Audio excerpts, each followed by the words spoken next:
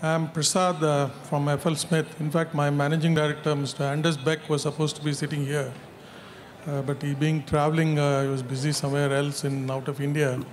So I'm representing FL Smidth here.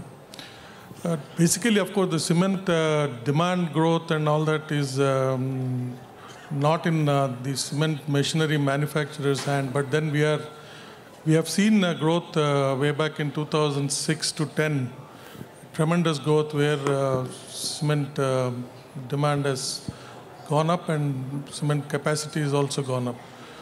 We, um, as a cement uh, plant and machinery manufacturers, we always hope uh, cement uh, uh, demand goes up, whereby the most of the cement manufacturers will add cement capacities and all that. And we are geared up, and we have enough capacity to handle. Uh, in fact, in 2006 and 7, we handled more than 25 million tons of cement plant ordered in one particular year.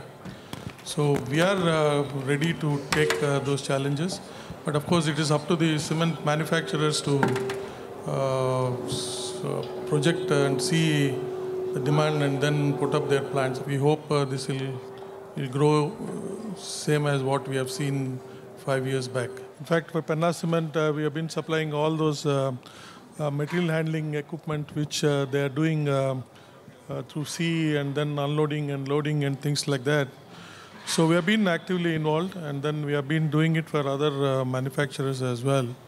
And as far as the efficiency of the fuel and other things concerned, we have been working. We have a very good uh, uh, R&D working on that, and uh, not only us, even our other friends who are equally our uh, cement machinery suppliers, all of them are. We are all working hard to see that uh, we deliver on time and as fast as possible, and. um and as efficient equipment as possible.